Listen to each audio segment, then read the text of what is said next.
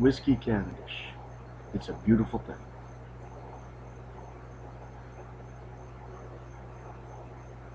Ah. Anyway.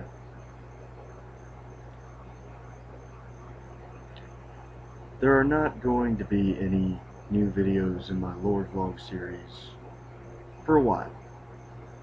Probably not for a few months. Because, uh,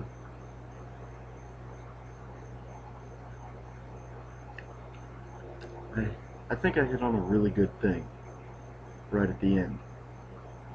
And I've still got about half of Njal Saga left to read, but I do not want to do any more until I get a better microphone. Which is gonna have to wait. Because once I start getting a paycheck again, I've got a bunch of other things I want to spend money on. Plus, God knows how much of it is going to the bank for the farm.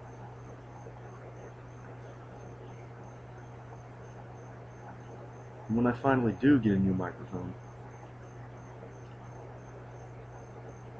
I'm going to redo all the ones I've already done.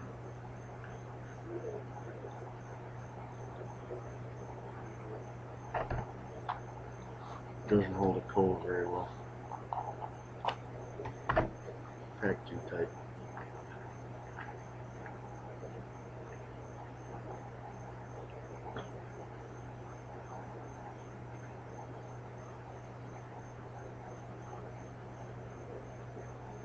Because, let's face it, Njal Saga,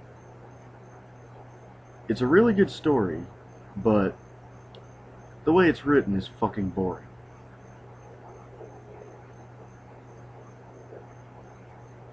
Even for me. A practicing heathen who was considering being becoming a medievalist until he realized that liberal arts is a waste of life. It's a little hard to get through. And I cannot reasonably expect people to watch those videos when it's just my face talking and crappy sound. It just ain't gonna work. So wait on that. But as far as me reading stories on YouTube is concerned, I have an ambitious new project.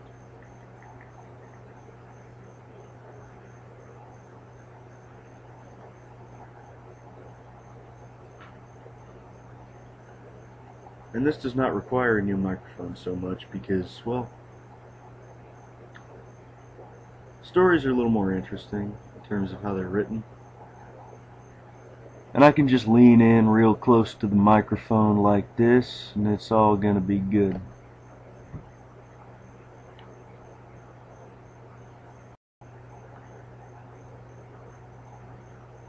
It's no big secret that I love creepypasta.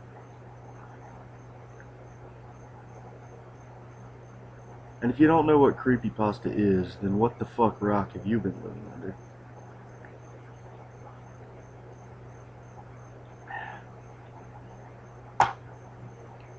It's just this, uh, like, urban legends and ghost stories that are copied and pasted around the internet and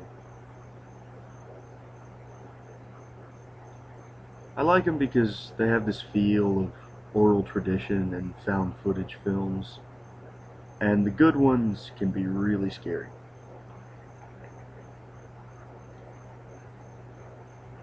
As a matter of fact, I wrote one myself and posted it here. The Goods. That was mine. And I had a hell of a lot of fun doing it. But see, here's the thing. On my website and the Facebook page, I try to post one snippet of poetry per week.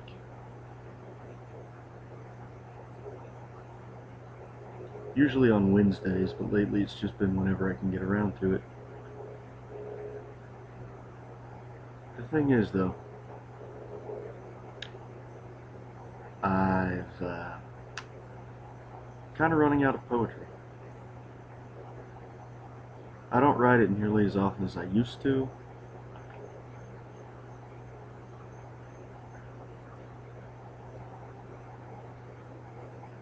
And in maybe a month or two, I'm going to run out. And I was wondering what I'm going to do when that happens. So, kind of had to accept the fact that it's going to be a hot minute before I can make any kind of money, real money off my writing. So I've got short stories and a couple of novellas all written that I haven't wanted to post on the internet because I want to publish them someday. But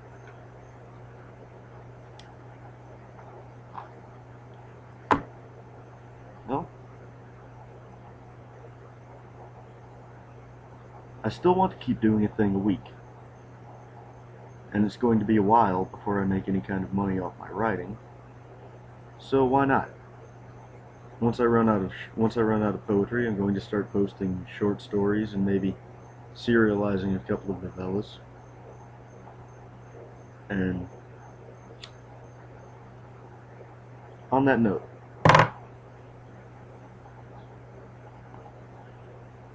the Holders series. It's this whole creepy pasta thing that uh well there's a link in the description. You can read about it there. But most of them aren't very scary but they are interesting. Because they really do tap into that whole found footage film thing. And they've got a very Lovecraftian internal mythology that I really like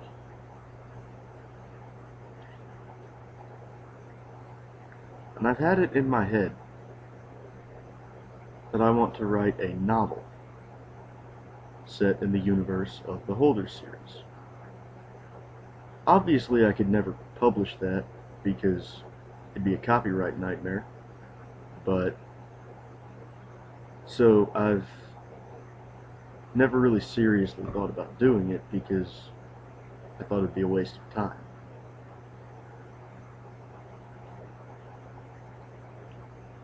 But now, if it'll generate traffic for my website,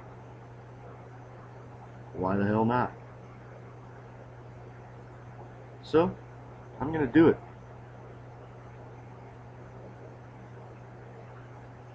Once it's finished, I will serialize chapters as I proofread them.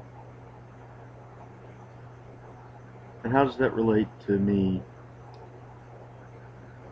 reading things on YouTube? Well,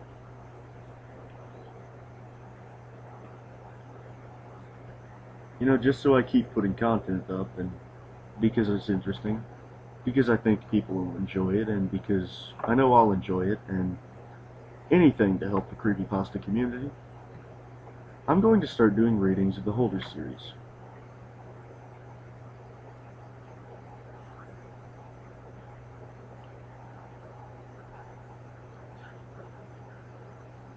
Think it'll be good.